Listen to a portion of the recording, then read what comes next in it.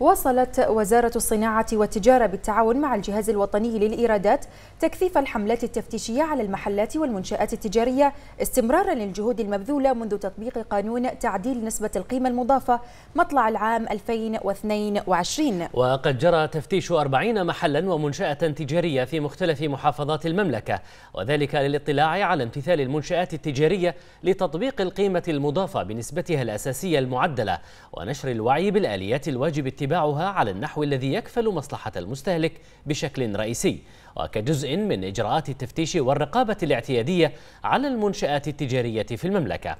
وأسفرت الحملات التفتيشية عن رصد 28 مخالفة تستوجب فرض الغرامات الإدارية التي قد تصل إلى عشرة ألاف دينار بحريني وفقا لقانون القيمة المضافة. إلى جانب رصد بعض الحالات التي قد تعد من حالات التهرب من القيمة المضافة وفقا لقانون القيمة المضافة والذي قد يستوجب غلق بعض المحلات تحفظيا. وبناء عليه فإن الجهاز الوطني للإيرادات بصدد اتخاذ الإجراءات القانونية حيال المنشآت المخالفة.